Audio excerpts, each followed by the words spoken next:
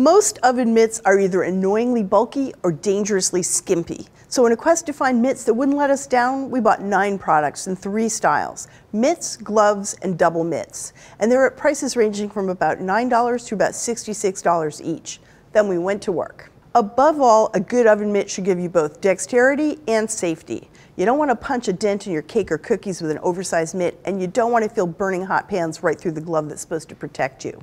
We used our lineup to maneuver sheets of cookies, full cake pans, and pie plates lined with pie dough into, around, and out of hot ovens. We used them to carry and empty Dutch ovens filled with boiling water, and to lift and maneuver ripping hot cast iron skillets that each contained a four pound roast chicken. We also tested how well the mitts protected our hands and forearms from the heat, and how easy they were to clean. Now here's what we learned. Those double mitts, they were a pain and they're pointless. When we use both hands to carry a pot or pan, that connecting strip of fabric that was supposed to protect our forearms just drooped down and did nothing. If we needed to use our hands for two different things, like holding a skillet handle while stirring a pan sauce, we either had to work with our hands chained together or use one side and let the other side dangle down.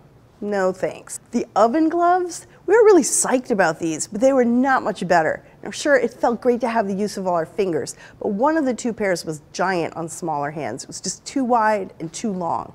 The other one came in different sizes, so we got a better fit. But these are actually very snug, and they took some work and time to really tug them on.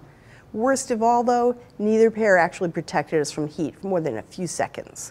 That's possibly because of the open weave of their knit. They just didn't keep hands comfortable with heavier, hotter cookware.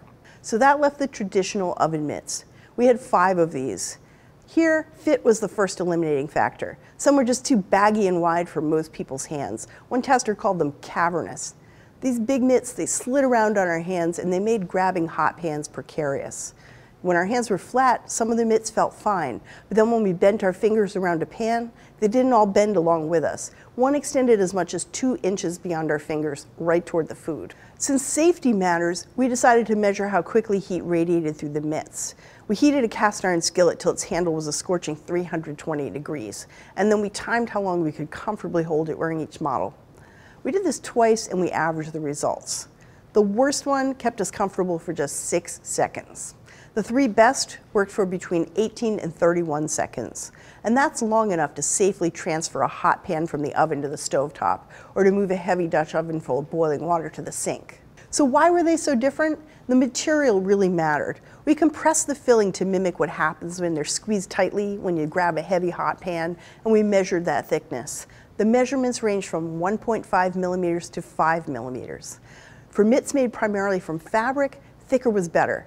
The only one we really liked was fairly thick at 5 millimeters. But the best, most protective mitts were made mostly from silicone, which doesn't need to be as thick and bulky as fabric to be protective. Cleanup is a big factor. Heat travels faster through moisture and grease, so you really do have to wash your oven mitts to keep them working. We smeared them all with marinara sauce and turmeric and put them through the laundry. Every one of these got permanently stained. That was kind of disappointing, but it wasn't a deal breaker. The biggest deal was that some of them started to fall apart after washing. Our favorite models were machine washable and showed no signs of wear and tear aside from those marinara stains. Now in the end, our favorite was the OXO silicone oven mitt at about $15 each. This is made from fairly thick silicone with a padded cotton lining, and it gives us good protection from heat. We liked that the silicone exterior flexed with our hands, and that silicone is also heavily textured for great grippiness. Both of those factors help make this mitt really work, whether you're handling a hot cookie sheet or a big cast iron Dutch oven. We're gonna be choosing this mitt to keep our hands safe in the kitchen.